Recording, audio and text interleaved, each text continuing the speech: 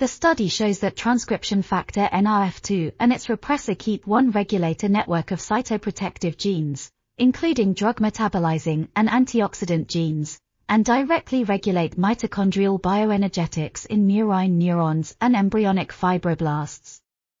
Loss of NRF2 leads to mitochondrial depolarization, decreased ATP levels, impaired respiration, increased production of ATP in glycolysis, and slower regeneration of NADH after inhibition of respiration.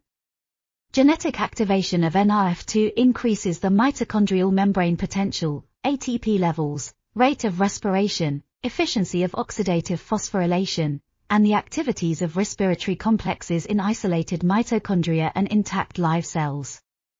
The study highlights the importance of efficient energy metabolism in NRF2 mediated cytoprotection. This article was authored by Kira M. Holmström, Liam Baird, Ying Zhang, and others. We are RTCL.TV, links in the description below.